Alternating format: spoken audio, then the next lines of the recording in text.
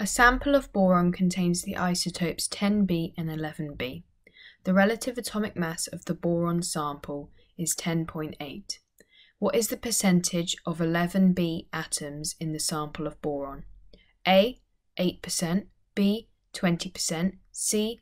80%, or D. 92%. If we imagine this like a number line, the relative atomic mass will fall somewhere between 10 and 11 depending on the percentages of 10B and 11B. The relative atomic mass of the boron sample is 10.8, so it's more towards the 11 on our number line. Therefore, it's going to have a higher percentage of 11B atoms in the boron sample. And if we were to decide, it would be 80% of 11B and 20% of 10b, and that would create our relative atomic mass of 10.8. We could check this by doing 20 times 10 over 100 plus 80 times 11 over 100. This is how you work out relative atomic mass using isotopes, and this would equal 10.8. Therefore, our answer is 80, so C to get the mark for this question, you need to write C in the answer box. In the compound ICl2 plus SbCl6 minus, the oxidation number of chlorine is minus 1. What is the oxidation numbers of I and Sb in the compound? Our options are A, I is plus 1 and Sb is plus 5, B, I is plus 1 and Sb is plus 7, C, I is plus 3 and SB is plus 5, or D, I is plus 3 and SB is plus 7. If we take the individual ions, starting with the cation, ICl2 plus, let's work out the oxidation state of I, or iodine. So, working out chlorine, we, we're told in the question that chlorine has an oxidation number of minus 1. So we have minus 1 times 2. That equals minus 2. The overall charge of this cation is plus 1.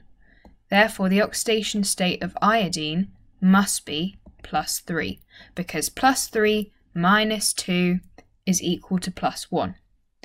Therefore, looking at our options, it will either be C or D, and we can eliminate B and A. Now let's look at our anion. The anion is SbCl6 minus. Again, we're told that chlorine has an oxidation number of minus 1, so the oxidation number of Cl6 would be minus 1 times 6, which gives us minus 6. The overall charge of this anion is minus 1, making the oxidation number of Sb plus 5 because plus 5 minus 6 equals minus 1. So looking at our options, plus 5 is option C. So to get the marks for this question, we need to write C in the answer box provided.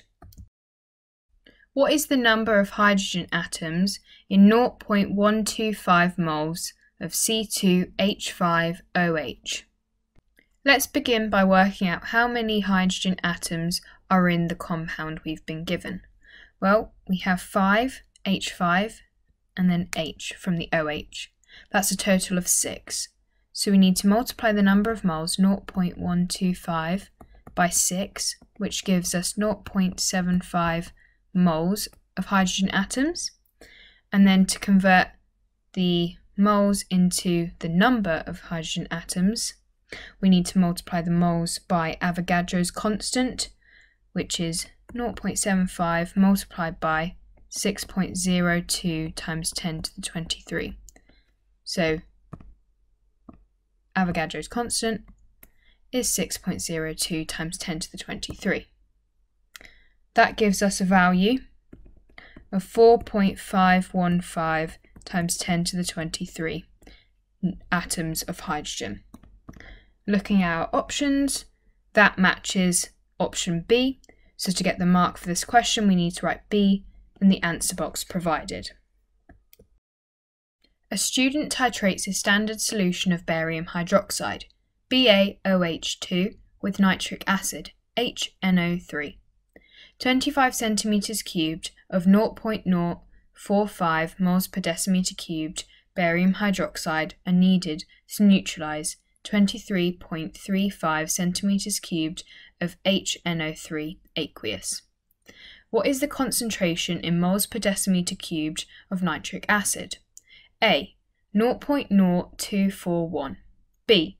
0.0482 C. 0.0900 or D. 0.0964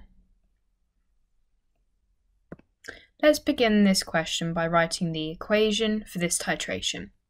If we start by writing our reagents, barium hydroxide and nitric acid, we would then form barium nitrate, or BaNO3, 2, and water. Next, we need to balance this equation. To balance this equation, we need to write a 2 in front of our nitric acid and a 2 in front of our waters. If we then just take a note of the molar ratio of barium hydroxide to nitric acid, it's a 1 to 2 molar ratio. So, our next step is to work out the number of moles of barium hydroxide. We can do this using volume and concentration and the equation triangle NVC. So, using our volume and concentration, to work out moles, we do 25 times 10 to the negative 3 because we're converting centimetres cubed into decimetres cubed. Then we multiply this by 0.045 and that gives us an answer of 1.125 times 10 to the negative 3 moles. This is of barium hydroxide. We want to work out nitric acid and the moles of nitric acid and it's a 1 to 2 molar ratio so we need to multiply 1.125 times 10 to the negative 3 by 2. That gives us a value of 2.25 times 10 to the negative 3 moles. Finally, we're asked to work out concentration. We're given the volume of nitric acid used, so using the same equation triangle we can take the number of moles, 2.25 times 10 to the negative 3, that's the moles of nitric acid, divide this by 23.35 times 10 to the negative 3, again converting centimetres cubed into decimetres cubed. That gives us a concentration value of 0.0964. If we look at the options we've been given in the question, the answer we've calculated in moles per decimetre cubed, well, this matches our option D. So to get the mark for this question, we need to write D in the answer box provided. Which statement best explains why nitrogen has a larger first ionization energy than oxygen? A. Nitrogen atoms have less repulsion between p orbital electrons than oxygen atoms. B. Nitrogen atoms have a smaller nuclear charge than oxygen atoms. C. Nitrogen atoms lose an electron from the 2s subshell, while oxygen atoms lose an electron from the 2p subshell. D nitrogen atoms have an odd number of electrons, while oxygen atoms have an even number. Let's begin by looking at statement A. To answer statement A, we need to draw out the electron arrangement of nitrogen and oxygen in the p orbitals. So p orbitals would be three squares, as I'm drawing.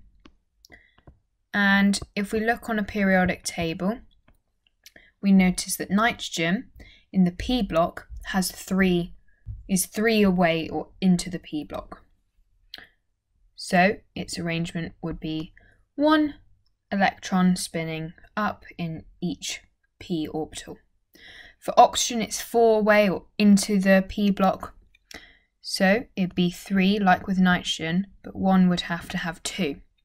And therefore, oxygen would have more repulsion between these two electrons with the same charge and then they're going to repel each other. Whereas nitrogen is a lot more stable, there's less repulsion, therefore A is correct. However, let's check the other options and see that we can confirm that A is correct. For B, Well, it's saying that nitrogen has a smaller nuclear charge. Generally, if something has a high nuclear charge, it's got a high first ionization energy because there's more nuclear attraction. Therefore, this doesn't really fit the fact that nitrogen has a higher first ionization energy. So our answer is not B. For C, well, nitrogen and oxygen are both going to lose their electrons from the 2p subshell because that is the most or least stable. They're going to donate them from the 2p before the 2s. Then, for D, nitrogen atoms have an odd number of electrons while oxygen atoms have an even number of electrons. The number of electrons doesn't matter when it comes to ionization energy.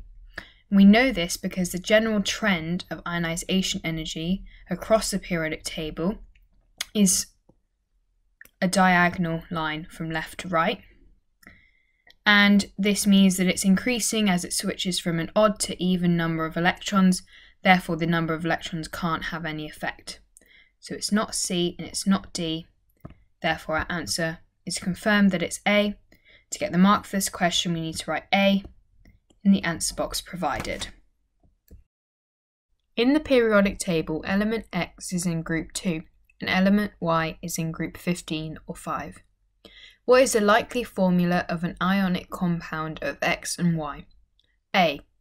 X2Y5 B. X2Y3 C. X3Y2 D. X5Y2 The charge for an element in group 2 is plus 2. So X would have the charge plus 2, and for group 5, the charge is minus 3. So Y would have the charge 3 minus. There is a method when working out ionic compounds or writing their formulas, and it's called the crossover method, there, which means this 2 goes to the y, making it y2, and this 3 goes to the x, making x3. If we look at this answer and the options we're given, our answer we've calculated matches the option C. So to get the mark for this question, we need to write C in the answer box provided. Which statement about ammonium carbonate is not correct? A. It reacts with barium nitrate to form a white precipitate. B. It effervesces with dilute nitric acid.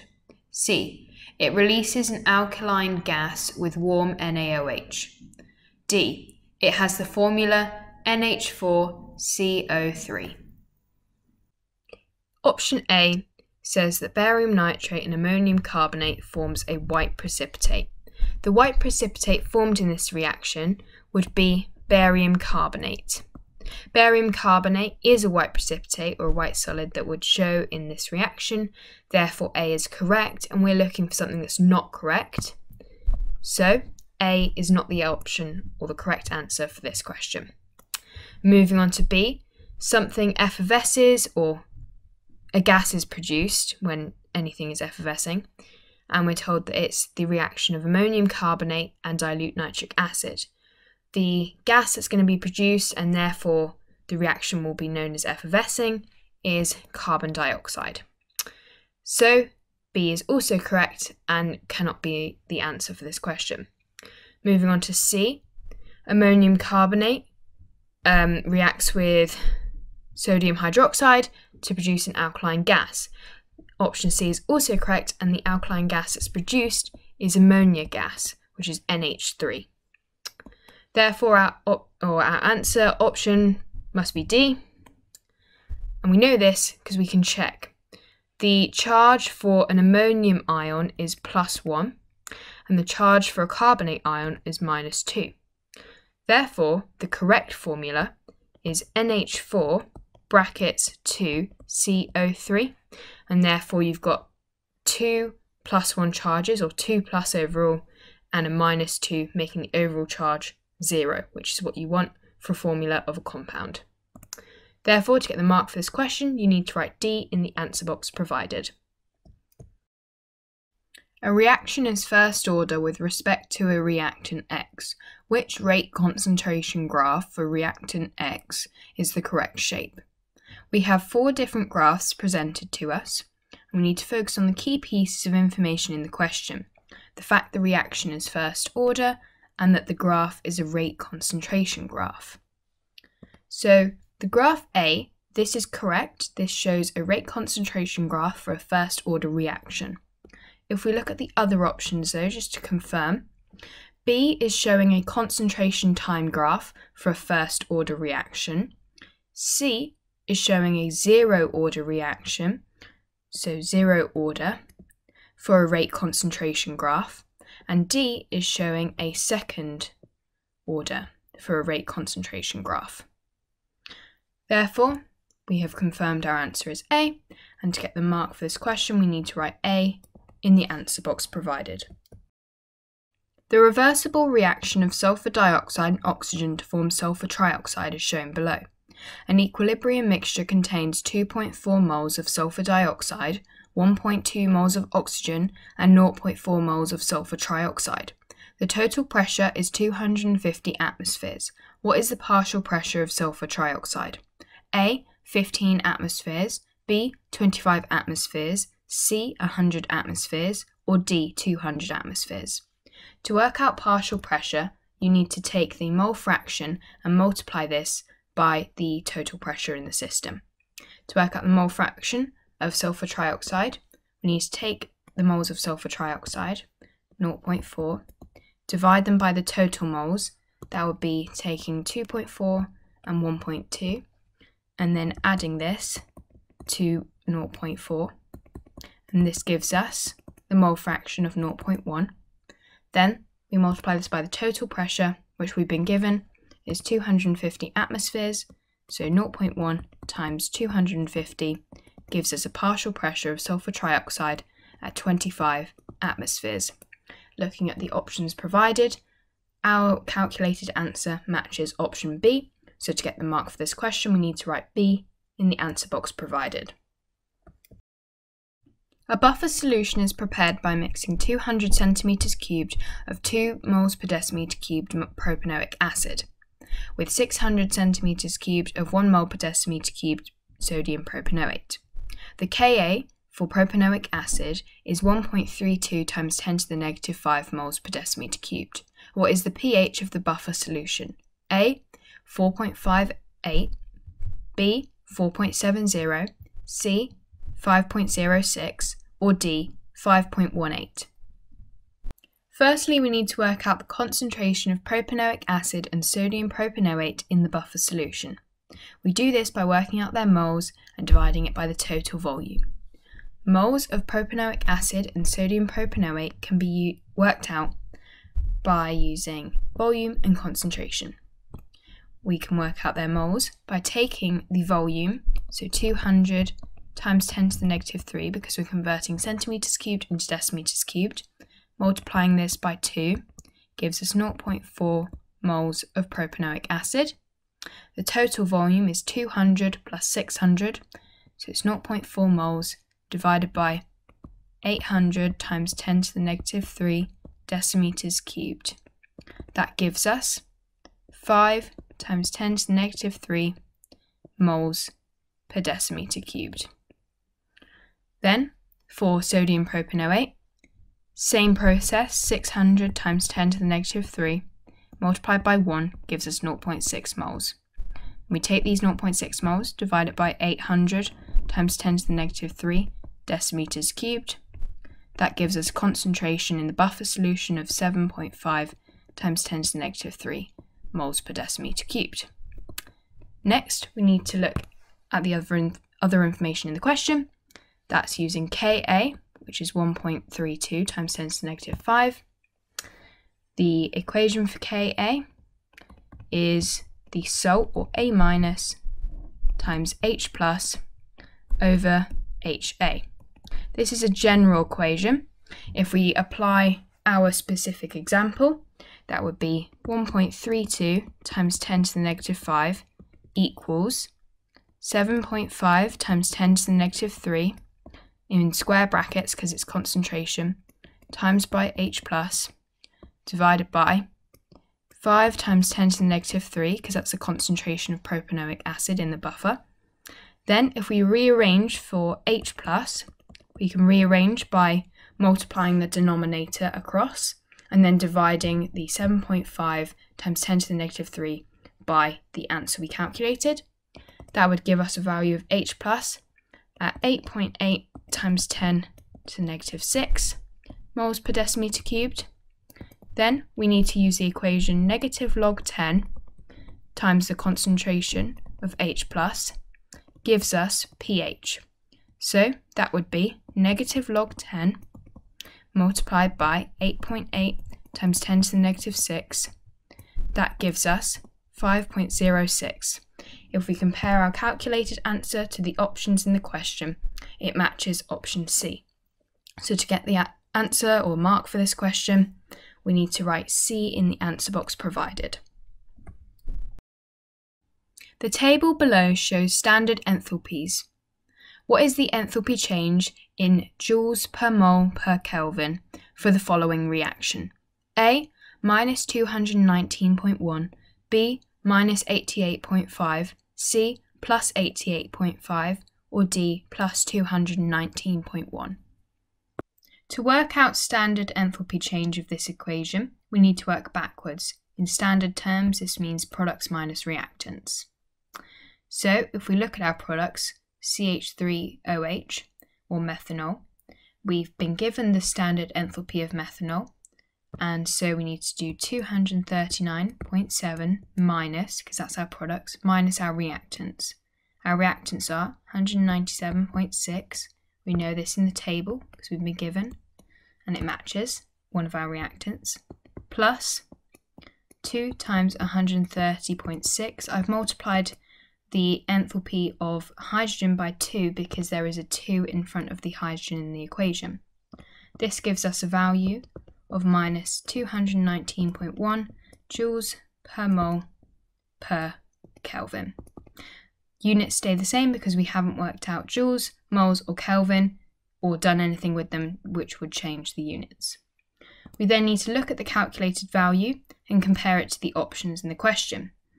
Our calculated value matches option 1, so to get the mark, or A, to get the mark for this question, we need to write A in the answer box. The redox equilibria for a hydrogen-oxygen fuel cell in alkaline solution are shown below. What is the equation for the overall cell reaction? A. H2 gas plus 4OH minus aqueous goes to 3H2O liquid plus half O2 gas. B. 3H2O liquid plus half O2 goes to hydrogen or H2 gas plus 4OH minus aqueous. C. H2O liquid plus H2 gas plus half O2 gas. Or D. H2 gas plus half O2 gas goes to H2O liquid. Firstly, we need to work out our own overall cell reaction. We do this by using electrode potentials which we've been given. The most negative means the equilibrium is going to go backwards and the most positive will go forwards.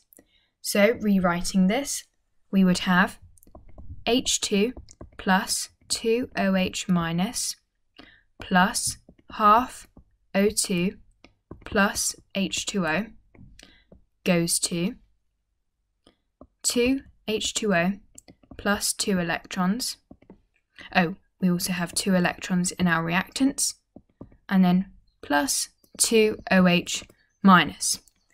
We then need to cancel out some of our reactants and products that match. So the electrons disappear and we don't have to change or multiply either equation by anything because we've got two electrons in both. And that means that it's balanced and it's fine. Then we can cancel out our two OH minuses because they match we can also cancel out one water and then the water from the reactants. So rewriting this equation, that gives us H2 gas plus half O2 gas produces H2O liquid. If we look at what we've calculated and compare it to the options we get in the question, the answer we've worked out matches option D. So to get the mark for this question, you need to write D in the answer box provided. Which enthalpy changes are or is or are endothermic? 1. Bond enthalpy of CH bond. 2. Second electron affinity of oxygen. 3. The standard enthalpy change of formation of magnesium. A. 1, 2 and 3. B. Only 1 and 2. C only 2 and 3, or D only 1. So if something is endothermic, it means its enthalpy change is going to be positive. For 1, the bond enthalpy of a CH bond, that is positive, and therefore 1 is correct. So we can eliminate C. For number 2, the, the second electron affinity of oxygen. So the first electron affinity is negative, but it's a second electron affinity, and you need more energy to remove a second electron because of the repulsion.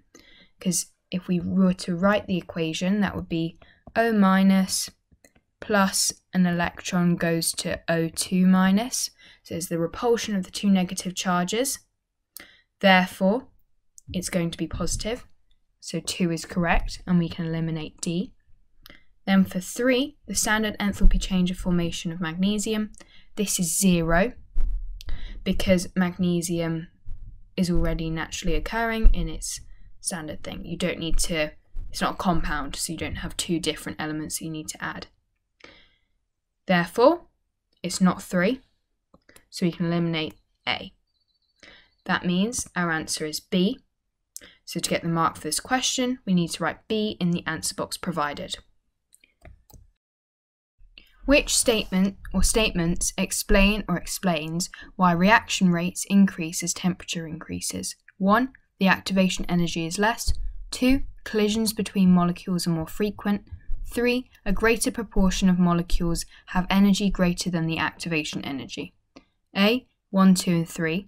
B. Only 1 and 2. C. Only 2 and 3. Or D. Only 1. Activation energy will always stay the same no matter what happens with temperature, therefore 1 is false. Collisions between molecules are more frequent. This is true because the molecules are going to have more energy, more kinetic energy, they're going to collide more, they're bouncing around more, so that is true. And then three, greater proportion of molecules have energy greater than activation energy. Well, if they have more kinetic energy and more temperature, so thermal energy, that's going to increase the energy that the molecules have, and therefore they are going to have an energy greater than the activation energy. So the reaction is more fruitful or more successful because more molecules or a greater proportion of molecules have an energy greater than activation energy. So 3 is also correct. Therefore, we're looking for an option that says 2 and 3. That option is C. So to get the mark for this question, we need to write C in the answer box provided. Which statement or statements is or are correct for the complex PT NH32Cl2? 1. One of its stereoisomers is used as an anti-cancer drug. 2. It has bond angles of 109.5 degrees. 3. It has optical isomers. A. 1, 2 and 3. B. Only 1 and 2. C only 2 and 3, or D only 1. Statement 1 is correct, and one of the stereoisomers of this complex is used as an anti-cancer drug. This is something you need to know as part of the syllabus, so if you didn't know it, maybe make a revision resource with this statement. Number two, the bond angles are 109.5. This is a tetrahedral shape, which means four bond pairs, no lone pairs. This is false because of the lone pairs on the nitrogen. It has optical isomers. This is also false because an optical isomer would have four unique groups attached. And there aren't four unique groups because there are two NH groups and there are two Cl groups. So this is false. Therefore, our answer is only 1, which matches option D. To get the mark for this question, we need to write D in the answer box provided. This question is about enthalpy changes. Part A. Table 16.1 shows the enthalpy changes that can be used to determine the enthalpy change of hydration of fluoride ions, F-. Part 1. Explain what is meant by the term enthalpy change of hydration. Enthalpy change definitions are something you need to know from recall, and enthalpy change of hydration can be defined as 1 mole of gaseous, it's important we say gaseous, ions. React, you could say react in water, but react is fine, to form one mole, again specifying the quantity is really important in definitions, of aqueous, but you could alternatively say hydrated because of the water that it reacts in, ions. So to get the two marks for this question, you need to say one mole of gaseous ions react. That's your first mark. And then to form one mole of aqueous slash hydrated ions is your second mark. Part 2. The enthalpy change of hydration of F- minus can be determined using the enthalpy changes in table 16.1 and the incomplete energy cycle below. On the dotted lines, add the species present including state symbols. Let's begin by filling in the lattice enthalpy arrows. Lattice enthalpy is when a solid compound is formed from its gaseous ions. So here I've written our solid product, calcium fluoride, and then its gaseous ions would be Ca2 plus gaseous, 2 plus because calcium's in group 2 and would have a 2 plus charge, plus 2F minus gaseous, minus because fluorine's in group 1, and so fluoride ions would have a minus 1 charge. Now we only have two values left in our data table. We have a negative and a positive value for hydration of calcium 2 plus and solution of calcium fluoride. So there's only one positive arrow in this energy cycle, and it's here. That means this arrow must represent the solution of calcium fluoride. And so we can fill in this dotted line. Solution of calcium fluoride is when this solid compound produces aqueous ions, or its corresponding aqueous components. And so we can fill in, and it will be Ca2 plus aqueous, 2F minus aqueous. And then we can fill in the arrow here, which must represent minus 1609 and plus 13. And this arrow is representing the hydration of calcium 2 plus. So that means rather than having Ca2 plus gaseous ions, we're going to have aqueous ions and plus 2F minus gaseous because nothing's happened to the fluoride ions. To get the four marks for this question, you must have each dotted line with the correct components or ions and the correct state symbols or compounds. Part 3. Calculate the enthalpy change of hydration of fluoride ions, F-. Minus. For part 3 we need to look at part 2 again. So here's part 2 and we've almost filled in all the values were given in the data table and their corresponding arrows. The final one is the lattice enthalpy, which is minus 2630. So if we just fill that in in our energy cycle. Next, we need to fill in a algebra significance for the arrow for enthalpy change of hydration of F minus. So this would be 2x. X if it was one enthalpy change, but we're using two F minus ions throughout this whole energy cycle, so we need to say 2x. Now, a bit like a Hess's cycle, rather than going the direct route, we need to work our way around the energy cycle or finding an alternative route for 2x. So this would be plus 1609 minus 2630 plus 13 equals 2x.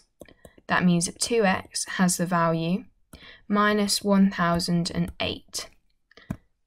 So what we've done here is just work our way around the energy cycle, find an alternative method, and we're starting in the same place, we're ending in the same place, which means our value will be the same and correct. So then to find x on its own, or the enthalpy change of hydration on its own, we take minus 1008, divide this by 2, that gives us our final x value of minus 504 kilojoules per mole. So on the answer line for part 3, we need to write minus 504 for kilojoules per mole. To get the two marks for this question, you get one mark for working out what 2x is, so minus 1008, and then one mark for dividing by 2 and working out the enthalpy change of hydration, or x, which is minus 504 kilojoules per mole. Part 4. Predict how the enthalpy changes of hydration of F- and Cl- minus would differ. Explain your answer.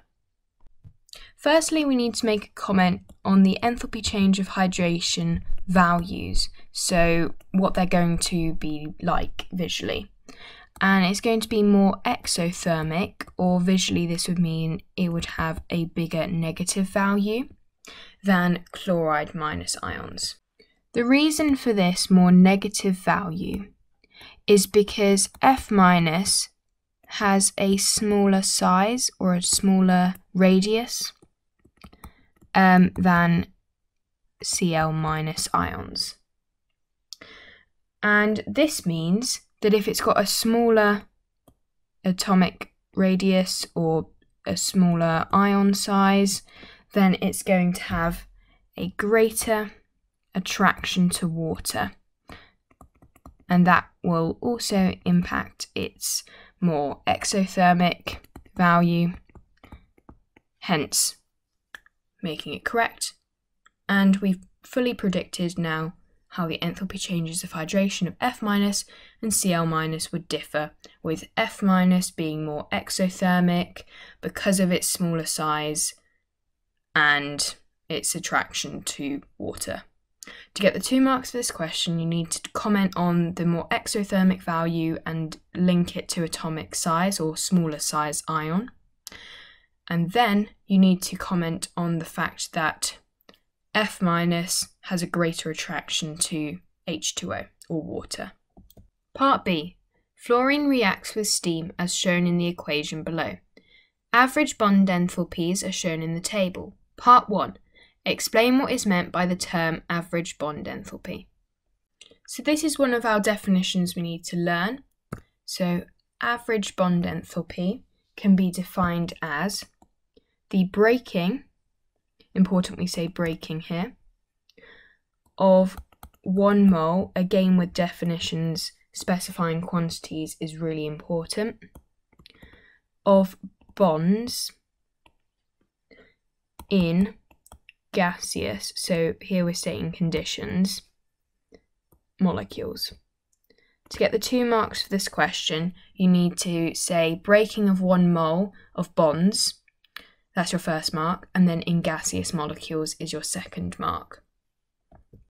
Part 2. Calculate the bond enthalpy of the FF bond.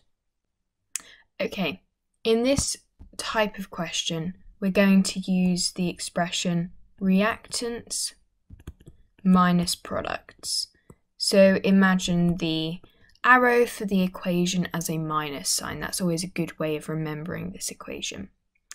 So if we work out the total bond enthalpies of our reactants first, that would be 2x, because we don't know what the FF bond is, plus 2 brackets 2 times 464, because in H2O, there are two OH bond enthalpies or bonds, and we've got a stoichiometry saying that there are two H2Os, so we need a big 2 in front of this bracket. And then we're going to minus our products. So our products will be 498 plus 4 times 568. And um, we've got our 4 because there are 4 HF bond enthalpies, and then there is one O double bond O from the oxygen. This is going to equal minus 598 because that is our delta H value. So if we finished off our reactants minus products equation, that would equal delta H. Now we're going to simplify or rearrange this slightly. So we would have 2x plus 1856, all in brackets still, minus 2770 equals minus 598. If we continue to rearrange, this would be 2x plus 1856 equals 2172. So that means 2x equals 316, making x plus 158 which is what we write on our answer line. Adding a plus means that you really know what you're talking about and it can't be argued that you were like, well, I could have put a minus, I wasn't sure. Putting the plus, extra important, and sometimes it's essential that you put your charge, so plus or minus. For this question, you get your three marks. Your first mark from writing the basic equation, where you've worked out the total bond enthalpies of reactants minus them from the total bond enthalpies of the products and made it equal delta H. That's your first mark. Then rearranging to the point of 2x equals 316 is your second mark. And then writing x is plus 158 is your third mark. This question is about reaction rates. Aqueous iron 3 ions, Fe3 plus aqueous, react with aqueous iodide ions, I minus aqueous, as shown below. A student carries out three experiments to investigate how different concentrations of Fe3 plus aqueous and I minus aqueous affect the initial rate of this reaction. The results are shown below. Part A Determine the rate constant and a possible two step mechanism for this reaction that are consistent with these results. Firstly, we need to determine the order of reaction for Fe3 plus and I. Let's begin with Fe3 plus. So we're looking for where it has increased by a certain value. Here, it's increased by 2. And where I minus has stayed the same or multiplied by 1. Then you need to look at the initial rate, and this has also multiplied by 2. Therefore, in the rate equation, we would write rate equals k, or the rate constant, square brackets, Fe3 plus to the power of 1, because Fe3 plus is a first order reaction, because when it's doubled the initial rate is doubled when I minus has remained the same. Then we need to do the same for I minus. So we're looking where Fe3 plus has stayed the same. So for experiments 1 and 3. And for experiments 1 and 3, I minus has doubled. And therefore we need to look at the initial rate. And it has quadrupled between experiments 1 and 3. Therefore, in the rate equation, we write I minus to the power of 2 because it's a second order reaction. We can then use this information to work out K. And K equals the initial rate, so if we take experiment 1 and its values, it would be 8.10 times 10 to the 4, or minus 4, divided by 4 times 10 to the minus 2 multiplied by 3 times 10 to the minus 2 to the power of 2. And that gives us a k value of 22.5. Next, we need to work out the units. So the units for the numerator are moles per decimeter cubed per second. And for the denominator, it's moles per decimeter cubed multiplied by 3. And then if we were to cancel this out, we would end up with the units moles to the minus 2, decimeters to the 6, seconds to the minus 1. Because what I've done here is if we expand this numerator, we get the same thing.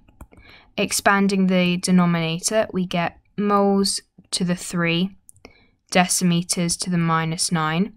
Cancelling out the moles, we are then left with moles to the 2, and then cancelling out the decimeters, we're left with decimeters to the minus 6, but it's over 1, therefore it's moles to the negative 2 and decimeters to the 6. Finally, we need to work out a two-step mechanism for this reaction. So we need a slow step first, and we can write this as a possible example, Fe3 plus aqueous plus 2I minus aqueous produces FeI2 plus as our slow step. And then for our fast step, we then write Fe I2 plus, so what we've just produced in our slow step, plus Fe 3 plus aqueous produces 2 Fe 2 plus aqueous plus I 2 aqueous. And we notice here that if we cancel out the slow and fast steps, so that it will be the ion we've created, we are then left with the overall equation we're given in the question. So we've got 2 Fe 3 plus aqueous plus 2I minus aqueous produces 2 Fe 2 plus aqueous plus I2 aqueous. And therefore we have been consistent with the results we're given. To get the marks for this question, you need to have produced a comprehensive conclusion which uses quantitative results for determination of the reaction orders and determines K from correct rate equation, which is what we've done in this question. Because there's an asterisk, there aren't specific marking points, but as long as you've been comprehensive and clear about your working, you've got the correct answers, you will get your six marks. Part B. A student carries out an investigation to find the activation energy EA and the pre-exponential factor A of a reaction. The student determines the rate constant K at different temperatures T. The student then plots a graph of ln K against 1 over T as shown below. Part 1. Draw a best fit straight line and calculate the activation energy in joules per mole. Give your answer to three significant figures and show all your working. Firstly, we need to draw our line of best fit. So we need a ruler and the line of best fit does not need to intercept the y-axis here. We are just drawing our line of best fit for the range of the data points we've been given, like so. Now we've drawn our best straight line, or best fit straight line, we need to calculate the activation energy. In order to do this, we need to find the gradient of the line. If we take two data points the, on the line, 29 and 28, and see where they fall on the x-axis, we have 2.90 and 4. So 2.90 for 29 and 4 for 28. But we need to pay careful attention to the units for 1 over t times 10 to the negative 3. So when working out the gradient, we need to do 29 minus 28 divided by 2.9 times 10 to the negative 3 minus 4 times 10 to the negative 3. That gives us a gradient value of minus 909. The reason we've worked out gradient is because we're using the equation lnk equals minus EA over RT plus lna. So by plotting a graph of ln k against 1 over t, we've got a y equals mx plus c graph, or a straight line graph. Therefore, the gradient is equal to minus EA over R.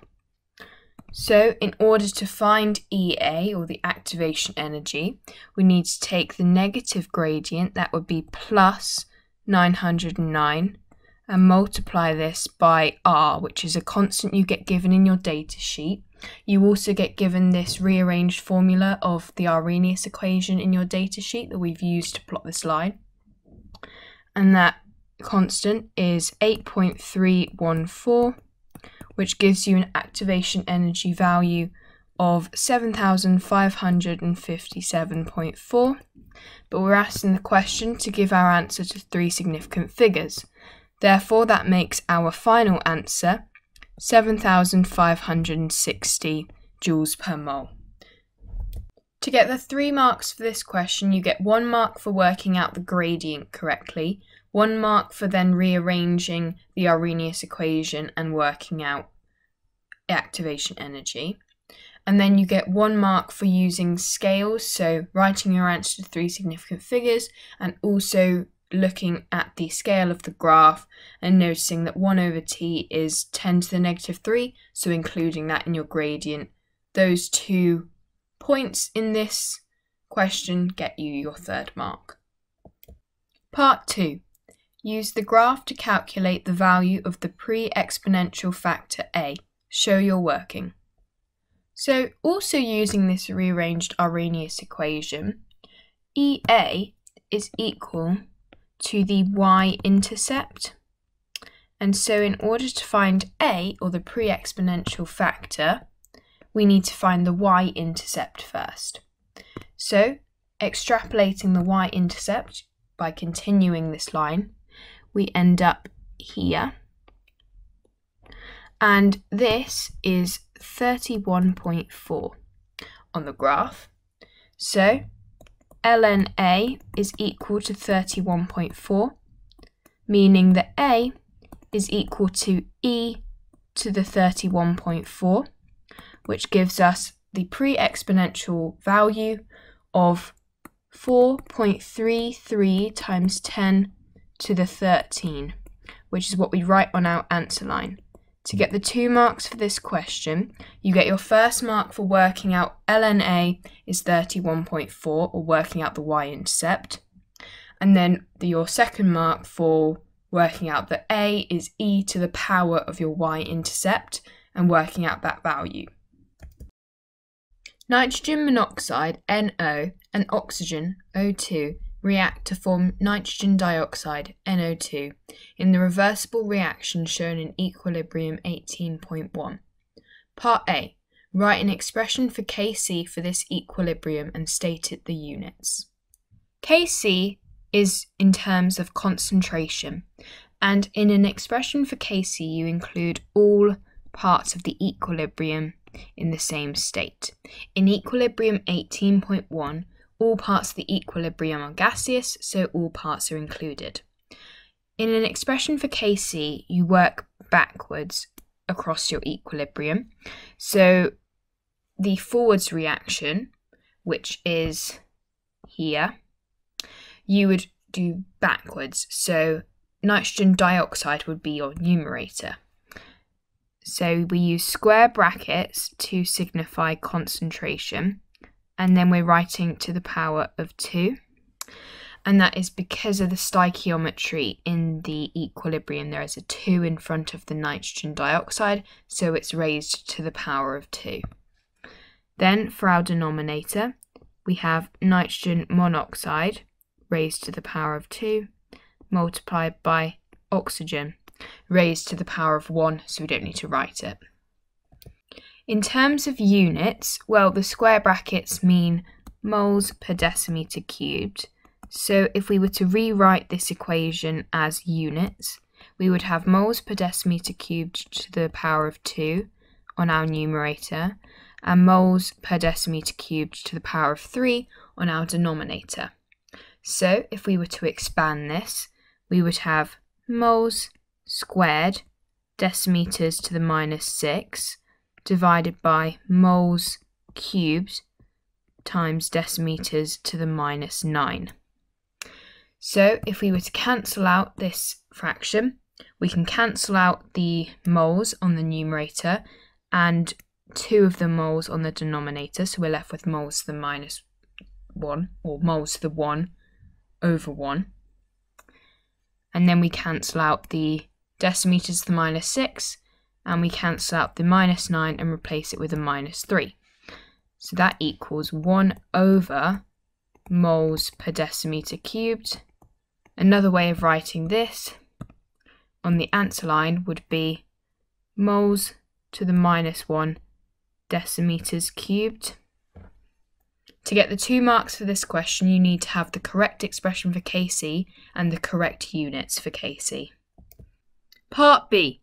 A chemist mixes together nitrogen and oxygen and pressurizes the gases so that their total gas volume is 4 decimeters cubed. The mixture is allowed to reach equilibrium at constant temperature and volume. The equilibrium mixture contains 0.4 moles of nitrogen monoxide and 0.8 moles of oxygen. Under these conditions, the numerical value of Kc is 45. Calculate the amount in moles of nitrogen dioxide in the equilibrium mixture. Firstly, let's highlight the key pieces of information in Part B. 1. That the total gas volume is 4 decimeters cubed and then the number of moles of nitrogen monoxide, oxygen, and the value of Kc. Because we're given the number of moles and the volume, we can use the equation triangle NV times C in order to work out concentration, which is what Kc is expressed in terms of.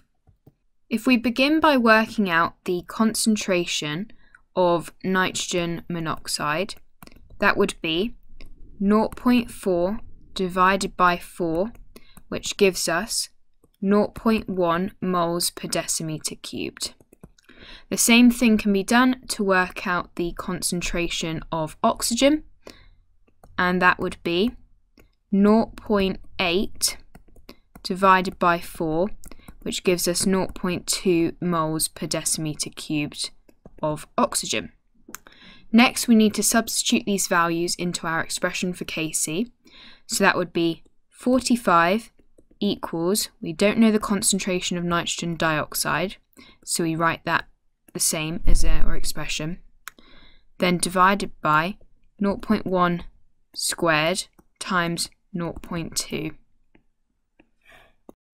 Next, we need to rearrange to find nitrogen dioxide squared. That would be 45 times 0.1 squared times 0.2, which gives us 0.09.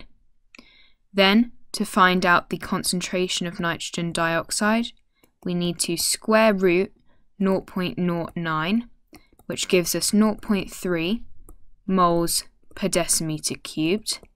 Finally, the question is asking us for the amount in moles of nitrogen dioxide. Therefore, we need to do the reverse of what we've done in our first step and take concentration and multiply it by our volume, which is 4 decimeters cubed, and that gives us 1.2 moles of nitrogen dioxide, which is what we write on our answer line.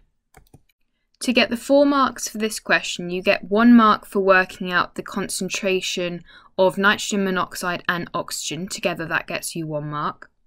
You get your second mark for working out the concentration of nitrogen dioxide squared, which is 0.09.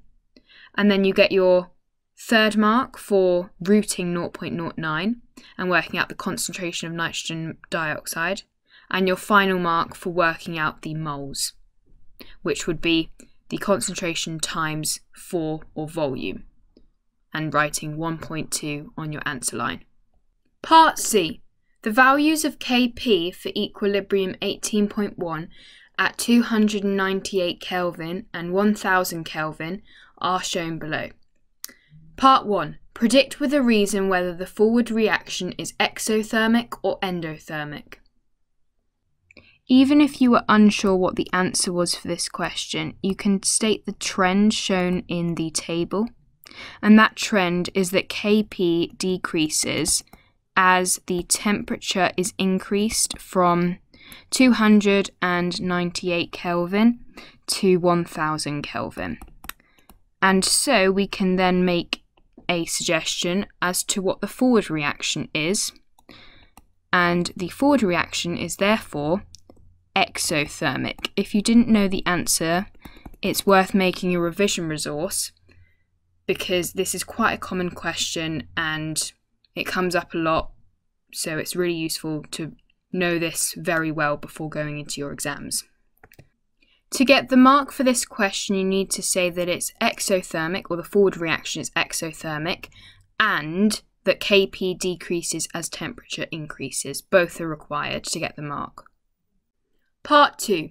The chemist increases the pressure of the equilibrium mixture at the same temperature. State and explain in terms of Kp how you would expect the equilibrium position to change. Firstly, we need to talk about the equilibrium position and how this is going to shift due to an increase in pressure. So the equilibrium position is going to shift to the right, and I will explain why. And that is because it shifts to the side with a fewer number of moles of gas. On the left, there are three, and on the right there are two, so the equilibrium position is going to shift to the right. Next we need to talk about the ratio in the Kp expression. And what's going to happen to this ratio is it's going to decrease. And that is because the denominator is going to increase more than the numerator, therefore decreasing the ratio in the Kp expression. And in any question where you're asked about KP and the effect of KP, you need to say the final thing would be the ratio increases in this case. It could be decreases, but the main thing is it's going to restore KP, and this is a phrase you'll write in any question when you're asked about KP and how it changes due to temperature or pressure or any conditions. To get the three marks for this question, you get your first mark for talking about equilibrium position shifting, your second mark talking about the ratio in Kp changing, and then your third mark for talking about the ratio increasing to restore Kp. This question is about acids and bases found in the home. Part A. Ethanoic acid CH3COOH is the acid present in vinegar. A student carries out an experiment to determine the pKa value of ethanoic acid. The concentration of ethanoic acid in the vinegar is 0.870 moles per decimeter cubed. The pH of the vinegar is 2.41. Part 1. Write the expression for the acid dissociation constant Ka of ethanoic acid. The basic expression for Ka is that Ka equals H plus times A minus divided by HA. If we apply this to ethanoic acid, our expression for Ka would be H plus multiplied by CH3COO minus as our A minus, and then over ethanoic acid or CH3COOH. To get the mark for this question, you need to have the correct expression for Ka. Part 2. Calculate the pKa value of ethanoic acid. Give your answer to two decimal places. First, let's highlight key pieces of information in the question. So we've got the concentration of ethanoic acid, which we can then plug into the expression for Ka. We've also got the pH of vinegar, which we can use to work out the concentration of H plus, with the general equation being the concentration of H plus equals 10 to the minus pH. So, in part 2, we write the concentration of H plus equals 10 to the minus 2.41, which equals 3.89 times 10 to the negative 3 moles per decimeter cubed. First, we need to make the assumption that the concentration of H plus equals the concentration of A minus. And the reason for this is because all H plus ions must come from the acid. Therefore, when we plug into the equation for Ka, we have Ka equals 3.89 times 10 to the negative 3 brackets squared because H plus equals A minus, so we're multiplying the same concentration twice. In other words, we're squaring the concentration.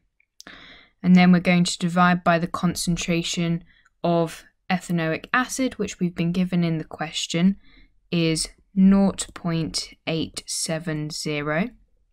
So that will equal a Ka value of 1.74 times 10 to the negative 5. But we're asked to work out the pKa value. So we do pKa equals negative log 10. We're using the same equation we would use for pH, but instead of H plus, we're using Ka. So negative log 10 multiplied by 1.74 times 10 to the negative 5 equals our pKa value of 4.76, which we write on the answer line. Just briefly explaining where this equation for pKa comes from. When working out pH, you do negative log 10 H plus, so pKa would be negative log 10 Ka. To get the three marks for this question, you get your first mark for working out H plus concentration, or 3.89 times 10 to the negative 3. You get your second mark for working out Ka, is 1.74 times 10 to the negative 5 and your third mark for working out the pKa value correctly and writing it to two decimal places, so 4.76. Part 3. Determine the percentage dissociation of ethanoic acid in the vinegar. Give your answer to three significant figures. To answer this question, we first need to know the equation for percentage dissociation. So the equation for percentage dissociation is the concentration of H plus divided by the concentration of HA multiplied by 100. In this question, that would be the concentration of H plus, which we've worked out is 3.89 times 10 to the negative 3, divided by the concentration of HA, which is 0.870 times 100, gives us a percentage of 0.447% to three significant figures. So, writing this on the answer line 0.447%. To get the mark for this question, you need to write 0.447 on the answer line in order to get this mark. Part B. Many solid drain cleaners are based on sodium hydroxide, NaOH. A student dissolves 1.26 grams of a drain cleaner in water and makes up the solution to 100 centimeters cubed. The student measures the pH of this solution as 13.48. Determine the percentage by mass of NaOH in the drain cleaner. Give your answer to three significant figures. Firstly, let's highlight key pieces of information we need to use in this question. Firstly, the mass of drain cleaner that the student is dissolving, and the volume the solution is made up to. Then the fact that the pH of the solution is 13.48, and we're asked to give our answer to three significant figures.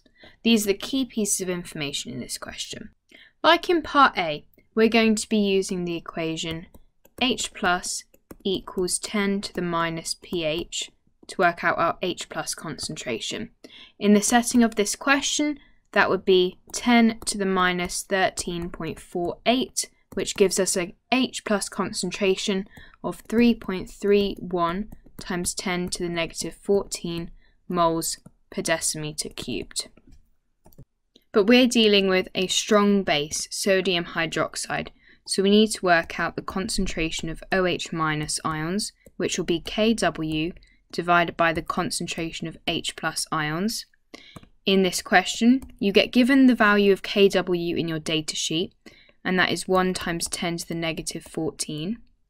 And then we divide it by the concentration of H plus ions, which we've worked out is 3.31 times 10 to the negative 14, which gives us an OH minus concentration of 0.302 moles per decimeter cubed. Next, we need to focus on how we can calculate the percentage by mass of sodium hydroxide in the drain cleaner. In order to do this, we need to use two equation triangles, our first being NV times C to work out moles, and our second being mass is equal to moles times RFM. So firstly, working out moles, that would be concentration 0.302 times by volume, which is 100. We're given that in the question, as we're told that's the volume the student makes a solution up to. But we're told it's centimetres cubed, and we want decimeters cubed, so we need to times by 10 to the negative 3 to get 0.0302 moles. Then working out mass, that would be 0.0302 times the relative formula mass of sodium hydroxide, which is 40. So that gives us a mass of 1.21 grams, and we want the percentage by mass of sodium hydroxide in the drain cleaner. So that would be 1.21 divided by 1.26 times 100, which gives us a percentage of 95.9%. Writing this on the answer line, 95.9, that's to three significant figures. To get the four marks for this question, you get your first mark for working out the concentration of H+, your second mark for working out the concentration of OH-, minus, your third mark for working out the mass of NaOH in the drain cleaner, and your fourth mark for working out the percentage by mass of NaOH in the drain cleaner, so 95.9, which is the answer written to three significant figures.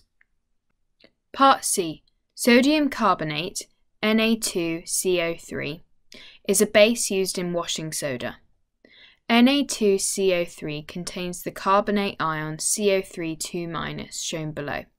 Draw the dot and cross diagram for the carbonate ion.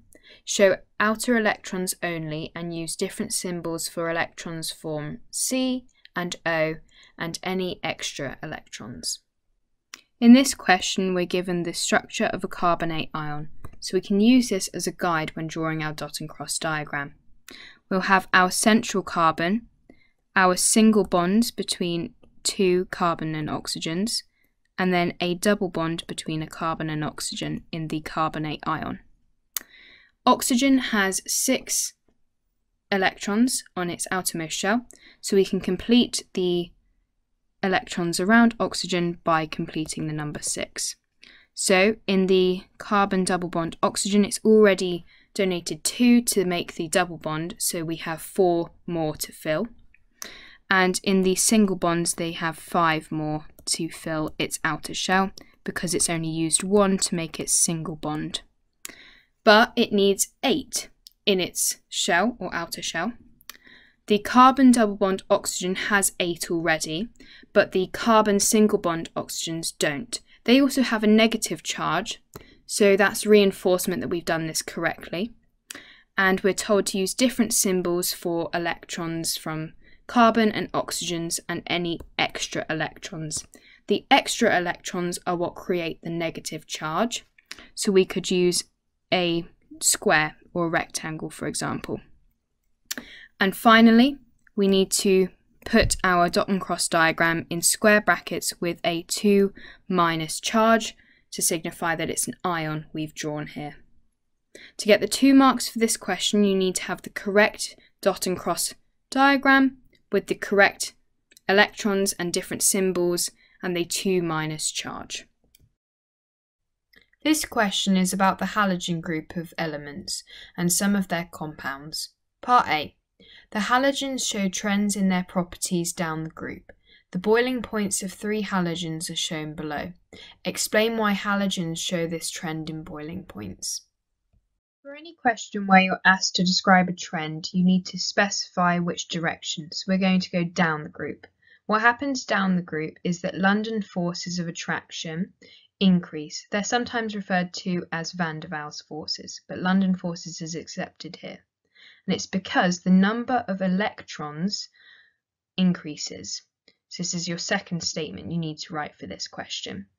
And then you need to link to why the trend in boiling points, and that's because if there's more London forces of attraction or they're increasing, more energy is needed to break the London forces of attraction.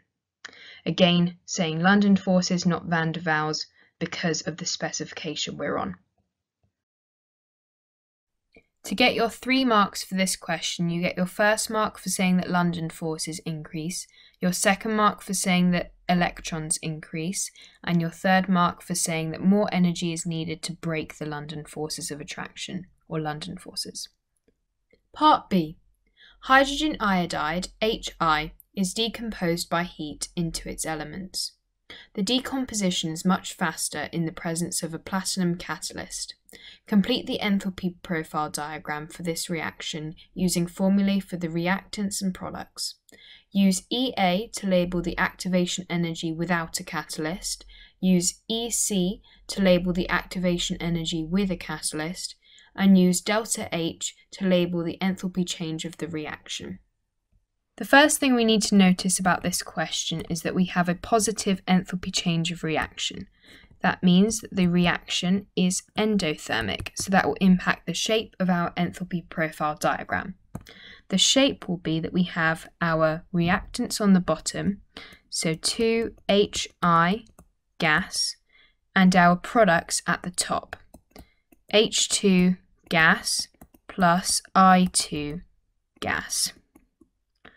Then we're going to have two different enthalpy profile diagrams effectively with two different activation energies labelled. We'll have one which is slightly higher and one which is slightly lower. Then labelling our activation energies with and without catalysts. The slightly higher enthalpy profile diagram will be our activation energy without a catalyst, and our slightly lower enthalpy profile diagram will be our activation energy with a catalyst. Finally, we need to label the enthalpy change of reaction, and it's a positive value, so we're going to go from our reactants to products upwards because enthalpy is increasing, and we'll label it delta H. To get the three marks for this question, you get your first mark for having your reactants and products on the right sides of the or the correct sides of the progression of reaction. So having your reactants on the left and products on the right. You get one mark for having the correct enthalpy change of reaction arrow, and then you get your third mark for having the correct activation energy with and without a catalyst. Part C. Compound A is an oxide of chlorine that is a liquid at room temperature and pressure and has a boiling point of 83 degrees. When 0.4485 grams of A is heated to 100 degrees Celsius at 1.00 times 10 to the 5 pascals, 76.0 centimeters cubed of gas is produced. Determine the molecular formula of compound A. Show all your working. Let's begin this question by highlighting key pieces of information we're going to use. Firstly, the mass of A, and then the temperature, pressure, and volume amounts we have been given in this question because we're going to use the equation PV equals nRT. So we're going to be using something called a list method and this helps us to understand what we have in the question and what we need to find out. So P stands for pressure. We have our pressure is 1 times 10 to the 5 pascals. Volume, we've been given also 76 times 10 to the negative 6 meters cubed because we're converting units from centimeters cubed into meters cubed for this ideal gas equation.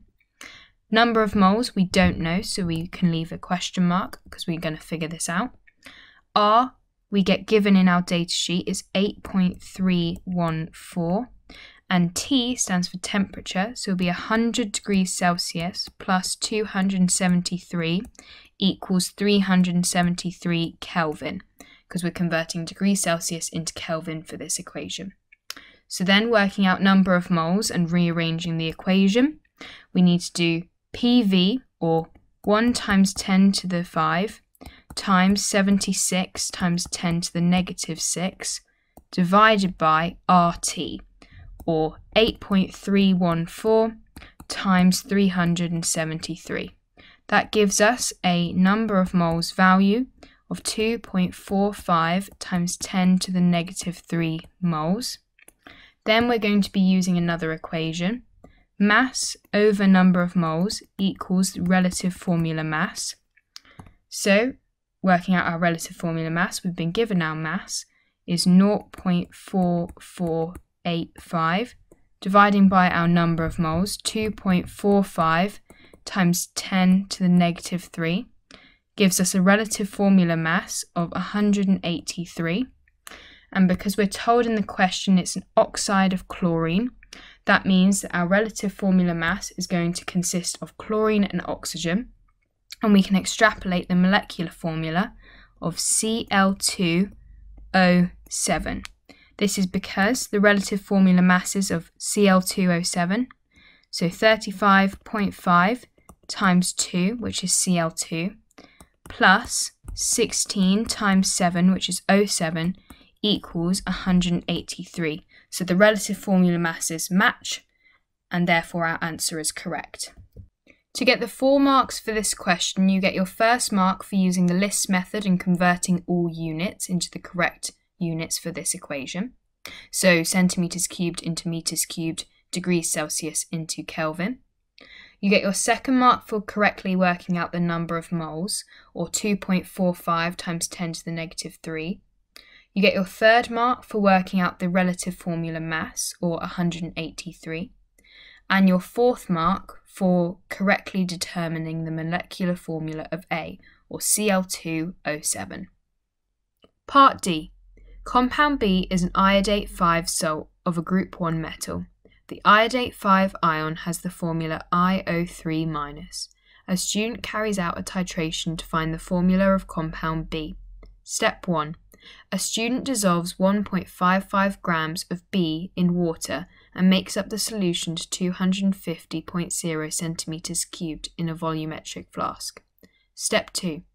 The student pipettes 25.00 centimeters cubed of the solution of B into a conical flask followed by 10 centimeters cubed of dilute sulfuric acid and an excess of KI aqueous. The iodate 5 ions are reduced to iodine, as shown below. Step 3.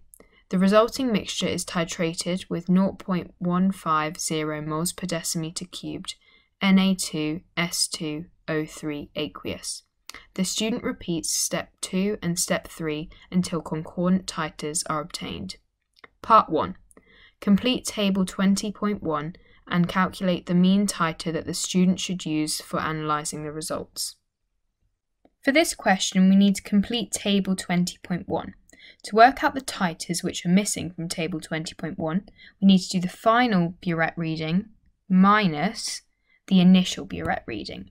So for the trial, that would be 24.00. We need to give all of our titer readings to two decimal places. For titration 1, that's 23.40. For titration 2, 23.75. And for titration 3, 23.85. Then we're asked to find the mean titer. In order for the mean titer to be found, we need to use concordant titers. Concordant titers are within or plus minus 0.10 centimeters cubed of each other. So the concordant titers in this question are from titration 2 and titration 3. So working out the mean titer would be 23.75 plus 23.85. Dividing this by 2 gives us a mean titer value of 23.80. Again, giving our answer to two decimal places, writing this on the answer line. To get the two marks for this question, you get your first mark for correctly completing table 20.1 and your second mark for identifying the concordant results and determining the mean titer, 23.80 centimeters cubed. Part 2. The uncertainty in each burette reading is plus minus 0.05 centimeters cubed. Calculate the percentage uncertainty in the titer obtained from titration 1. Give your answer to two decimal places. When working out percentage uncertainty, we take the uncertainty of the equipment, so 0.05, multiply it by the amount of times we've used this equipment, in this case twice, to work out the titer for titration 1. So this would be 0.05 times by 2 divided by 23.40. Then multiply by 100 in order to work out percentage uncertainty. That gives us an answer of 0.43%. That is our answer to two decimal places, which we will write on the answer line. To get the mark for this question, you need to have the correct percentage uncertainty, 0.43%. Part 3. Describe and explain how the student should determine the endpoint of this titration accurately. The first point we need to make in this question is that we're going to add an indicator. We're going to add starch as our indicator for this titration. Next, we need to state the colour change starch is going to make to determine the endpoint of this titration. The colour change is going to be from a blue or black colour to colourless or clear. To get the two marks for this question, you get your first mark for saying to add starch and your second mark for saying the colour change will be from blue to colourless. Part 4. Determine the relative formula mass and formula of the group 1 iodate 5B. Show your working. So what I've done firstly is copy across the information from table 20.1 and our calculated mean titer. Next we need to highlight other key pieces of information in the question. The mass of B the student is using is a key piece of information, alongside the volume the student is making the solution up to, 250 centimetres cubed. But the student's using 25 centimetre cube samples, so there's a factor of 10 we need to account for later on in the question.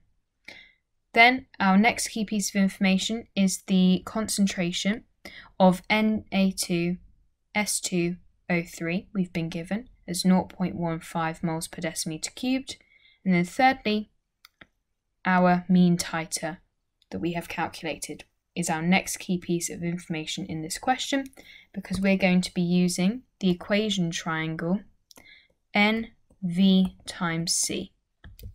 So using this equation triangle, we can work out the number of moles of S2O3 2 minus. That would be taking volume and multiplying it by concentration.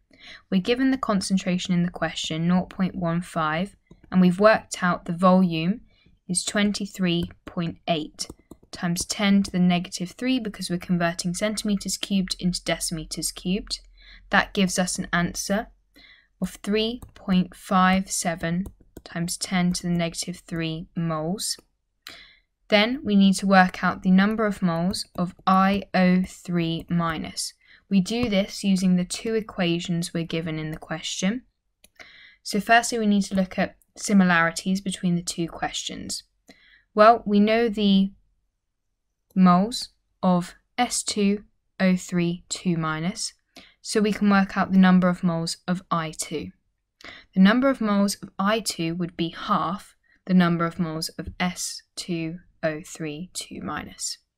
And in the first equation, where we're given IO3 minus, they are three times the number of moles of IO3 minus. So, working backwards, that means that the number of moles of S2O3 2 minus are 6 times the number of moles of IO3 minus. So to work out the number of moles of IO3 minus, we take 3.57 times 10 to the negative 3 and divide it by 6. That gives us a number of moles of 5.95 times 10 to the negative 4 moles. Now we need to account for our times 10, or factor of 10. And that is because the number of moles we've just calculated is the number of moles in 25 centimetres cubed. And we've made the solution up to 250 centimetres cubed. So we need to take the number of moles, 5.95 times 10 to the negative 4, and multiply this by 10, which gives us 5.95 times 10 to the negative 3 moles. Next, we need to work out the relative formula mass of the group 1 metal and that would be using the equation mass over moles equals relative formula mass. We've been given the mass in the question, 1.55. We've just calculated the number of moles, so 5.95 times 10 to the negative 3 gives us a relative formula mass of 260.5. So we can write this for the relative formula mass of B that we calculate. And then the formula of B, well, we need to match the relative formula mass to the mass of a group 1 metal. So to find the group 1 metal, we can take the relative formula mass, 260.5, and subtract the relative formula mass of the iodate 5 ion. So that would be 126.9 plus 16 times 3 gives us the relative formula mass of the group 1 metal is 85.6. Matching this to the closest group 1 metal, that is rubidium. So the formula of B would be RBIO3.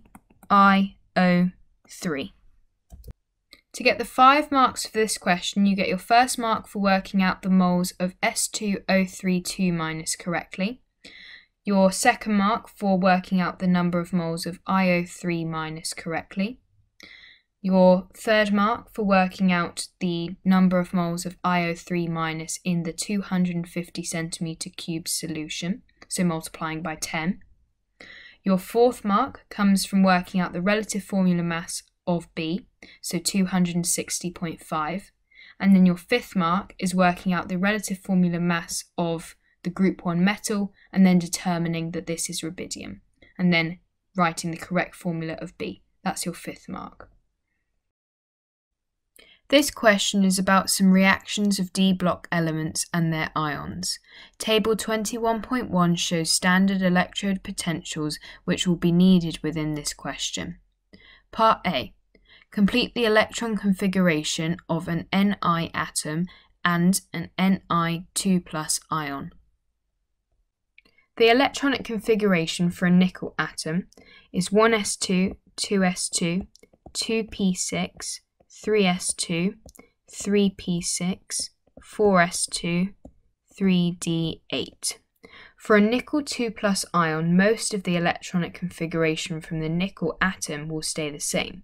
So we'll have 1s2, 2s2, 2p6, 3s2, 3p6, but here at the end we're going to change the electronic configuration to lose two electrons because we're forming a nickel 2 plus ion. We're going to lose both 4s electrons because they are filled first and lost first. So to complete the electronic configuration, we'll have 3d8. To get the two marks for this question, you get a mark for each electronic configuration that's correct. So a mark for the correct electronic configuration of a nickel atom and the correct electronic configuration of a nickel 2 plus ion get you your two marks. Part B. A standard cell is set up in the laboratory with the cell reaction shown below. Part 1. Draw a labeled diagram to show how this cell could be set up to measure its standard cell potential. Include details of apparatus solutions and the standard conditions required. To begin, we need to draw two half cells. Half cells are measuring cylinders. We need to draw two measuring cylinders with a solid electrode in each. These electrodes are connected by a voltmeter and they are surrounded by aqueous solutions filled with ions. These solutions are connected by a salt bridge. You need to label salt bridge, and what a salt bridge is, is filter paper soaked in ionic solution such as KNO3. So, what the electrodes are and what the ionic solutions are, we need to determine. So, nickel is a solid. That means it can be an electrode. So we can label an electrode as nickel. But the two iodine and iodide parts of this equation are both aqueous, so they cannot be an electrode. Therefore, we're going to use a platinum electrode. And in the ionic solution, we will have I2 and I minus. But in the nickel electrode solution, we will have Ni2 plus. Next, the standard conditions. The standard conditions are all of the solutions need to be 1 mole per decimeter cubed in concentration, and the temperature needs to be 298 Kelvin, which is the standard condition for temperature.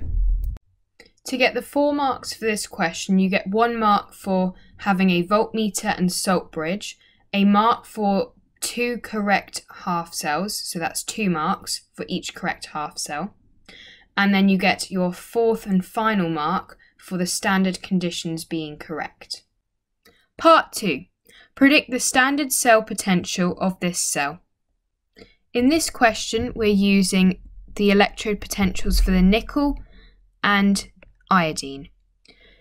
To work out the standard cell potential, you take the more positive electrode potential, which would be 0.54, and you minus the most negative, so minus 0.25. That would give us a standard cell potential of 0.79 volts, which we can write on our answer line. To get the mark for this question, you need to have the correct standard cell potential. Part C. Use the information in Table 21.1 to help you answer both parts of this question. Part 1.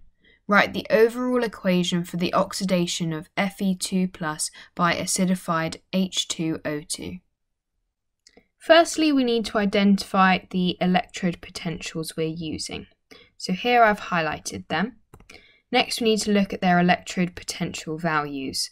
The most negative, in this case Fe2+, will go backwards, and the most positive will go forwards.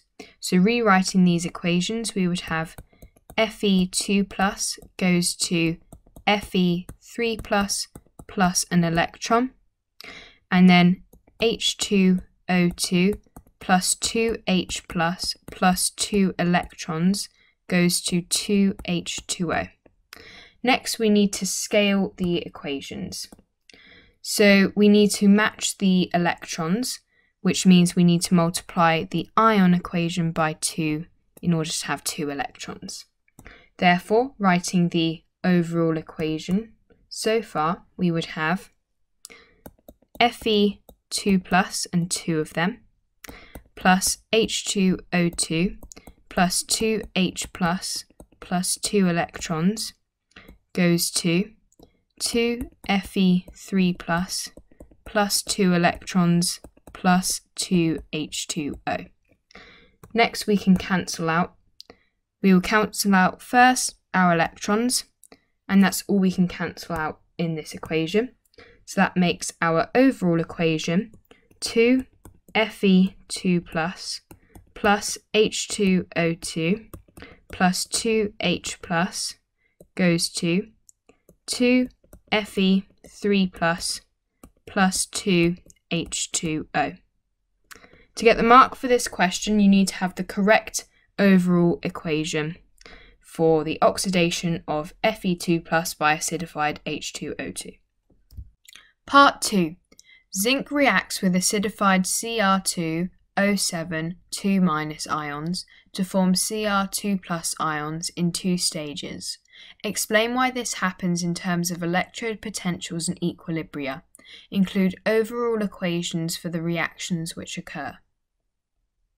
In the first stage of this reaction, we're going to react zinc with acidified Cr2O7 2.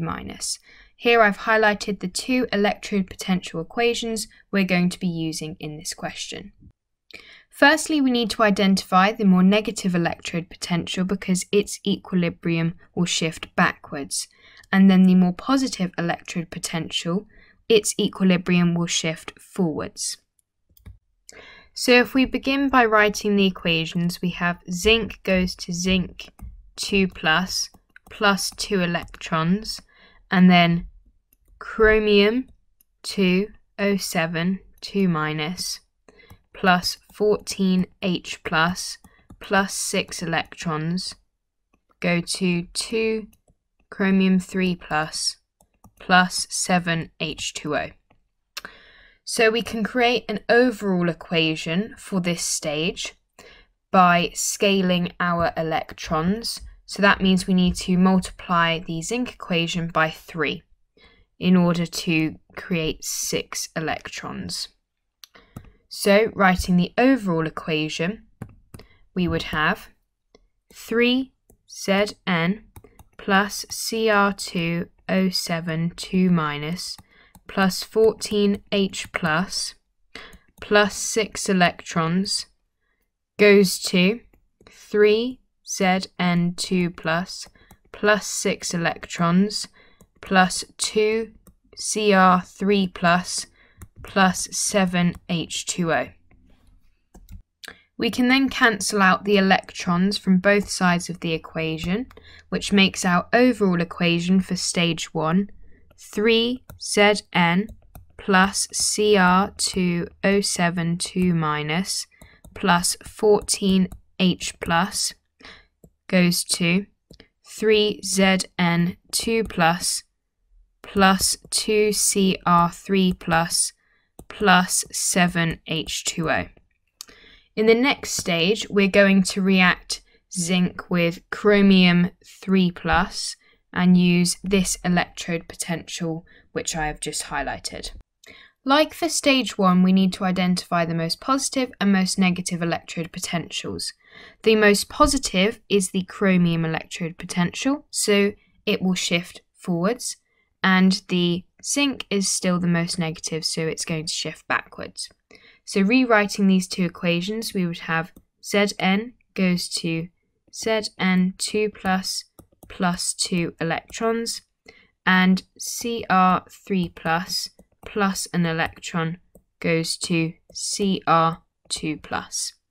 Next, we need to scale the electrons, so that means multiplying the Cr equation or chromium by 2. So then we have two electrons in both equations. So that means our overall equation would be Zn plus 2Cr3 plus plus 2 electrons goes to Zn 2 plus plus 2 electrons plus 2 Cr2 plus. Next we can cancel out the two electrons on both sides of the equation.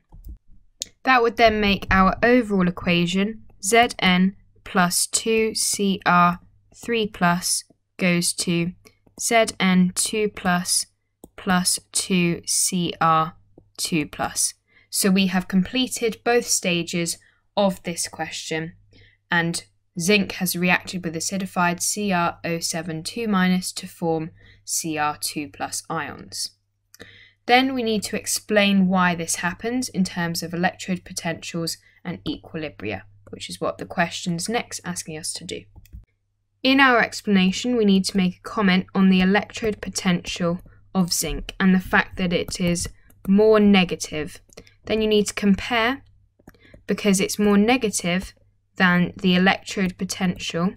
of Cr2O72-. So we're commenting on the first stage of this question. And what this means is that the zinc system shifts left. We've shown this in our working because we've said it shifts backwards, but saying that it shifts left is a bit more specific. To get the four marks for this question, you get a mark for each correct overall equation. You get a third mark for commenting on the fact that the electrode potential of zinc is more negative than the electrode potential of Cr2O72-, and your fourth mark is commenting on the fact that the zinc system shifts left. Part D. Three different reactions of copper compounds are described below. Reaction 1. Aqueous copper 2 sulfate reacts with an excess aqueous ammonia in a ligand substitution reaction. A deep blue solution is formed containing an octahedral complex ion C, which is a trans isomer. Reaction 2. Copper 1 oxide reacts with hot dilute sulfuric acid in a disproportionation reaction. A blue solution D and a brown solid E are formed. Reaction 3. Copper 2 oxide reacts with warm dilute nitric acid in a neutralization reaction to form a blue solution. Unreacted copper 2 oxide is filtered off and the solution is left overnight in an evaporating basin.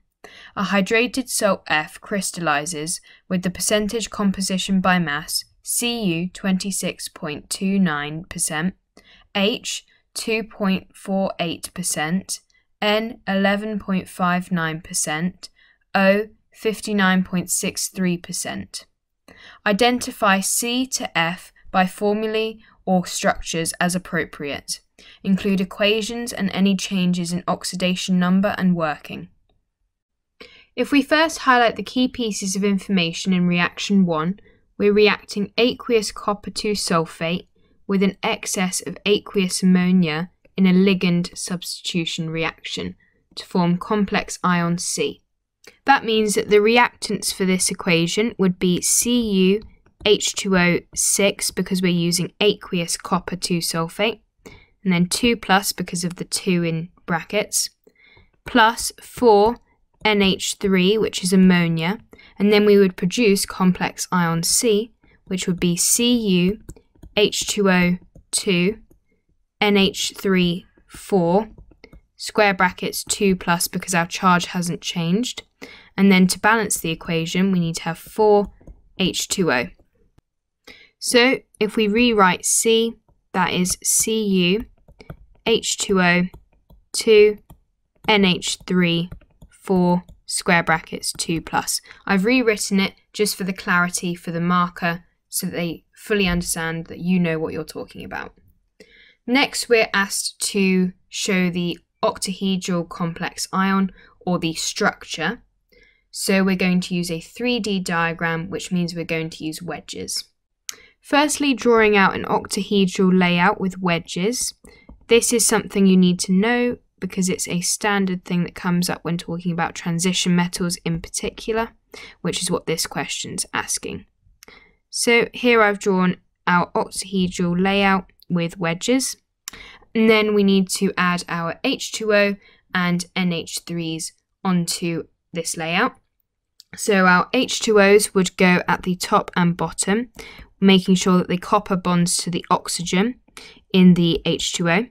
And then the ammonias or NH3s will go around and the copper will bond to the nitrogen.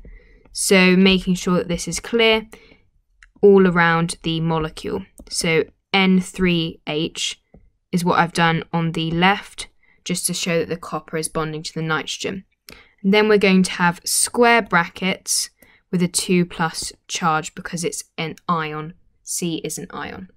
The reason that I've put H2O at the top and bottom or on opposite sides of this complex ion is because we're told that it's a trans isomer. Looking at reaction 2, we have copper 1 oxide reacting with hot dilute sulfuric acid in a disproportionation reaction. A disproportionation reaction means oxidation and reduction happen simultaneously to the same element. So we need to find D and E in reaction 2. So, firstly, writing reaction 2, we would have Cu2O plus H2SO4, which is copper 1 oxide reacting with dilute sulfuric acid. And then that would produce CuSO4 plus H2O plus Cu or copper. So identifying D and E, D would be CuSO4 because we're told that D is a blue solution and copper sulfate is a blue solution. And then E would be copper on its own because it's a brown solid and we're told that E is a brown solid.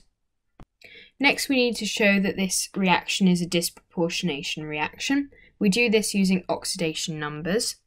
So we need to first calculate the oxidation number of copper in Cu2O. So we know that oxygen has a 2 minus oxidation number, and so Cu2 must have a 2 plus oxidation number. So dividing that by 2 to get Cu on its own or copper on its own is 1 plus. Then copper sulfate, that would have a 2 plus charge, and that is because a sulfate ion has a 2 minus charge, and any compound must have an overall oxidation value of 0. Copper on its own, therefore, would have an oxidation number of 0. So we can write that copper goes from plus 1 to 2 plus and 0 in terms of oxidation numbers. Then looking at reaction 3, we have copper 2 oxide reacting with warm dilute nitric acid in a neutralization reaction to form a blue solution. So firstly, writing this reaction, we would have CuO plus 2HNO3 because that's nitric acid, and that would produce CuNO3 brackets 2 plus H2O to balance the equation. Next, we're told that the unreacted copper 2 oxide is filtered off and the solution is left overnight in an evaporating basin and the hydrated salt F crystallizes with the percentage compositions by mass, which we're given. That means we need to work out the empirical formula of the hydrated salt F and the molecular formula. But first, empirical formula.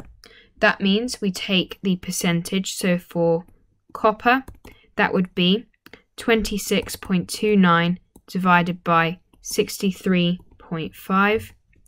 For hydrogen, that is 2.48 divided by 1. For nitrogen, that is 11.59 divided by 14. And for oxygen, 59.63 divided by 16. So that would give us for copper 0.41, for hydrogen 2.48, for nitrogen that gives us 0.82 and for oxygen that gives us 3.72. So then we divide by the smallest, that would be 0.41, to get our empirical formula. And then we can scale up for our molecular formula. If we're left with a 0.5, for example, we would scale up by multiplying by 2. But if that's not relevant, then that would be our molecular formula we're going to produce. So dividing by 0.41, we get 1. And then we get for hydrogen, 6. For nitrogen, 2. And oxygen, we get 9. So that makes our molecular formula CuH6N2O9. And it's a hydrated salt, so we're going to have FbCuNO3, 2 because that's what's produced in equation 3. And then the hydrated would mean a 0.3 H2O for F, or hydrated salt F. To get the six marks for this question, you need to have all three reactions covered in detail with C, D, E, and F identified with clear explanations and equations with oxidation numbers and structures being correct where appropriate.